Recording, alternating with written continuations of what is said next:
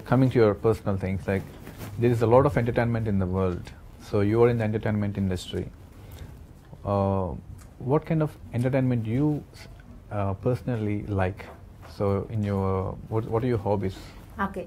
Um, uh, my uh, I actually didn't have got no time for hobbies. I used to love doing pottery once upon a time, uh, but I do uh, read a lot and I watch uh, a lot of movies and TV shows. And um, every evening I have to watch something before I go to sleep and read something before I go to sleep, which is why sometimes I'm up till two three in the morning. But um, uh, those are the few things that I do all the time, and uh, I can watch any film Hmm. good, bad, rubbish, amazing, Greek, Italian, Hindi, Bhojpuri, anything I can sit and watch happily. So um, I won't say I'm a very discerning, selective audience because Mm. I'm exact opposite because I watch everything. Mm. Um, but uh, that's the one thing I really, really love. And I love watching films in a movie hall where it's dark, you're sitting with a bunch of strangers, everybody's watching the same thing and feeling the same thing.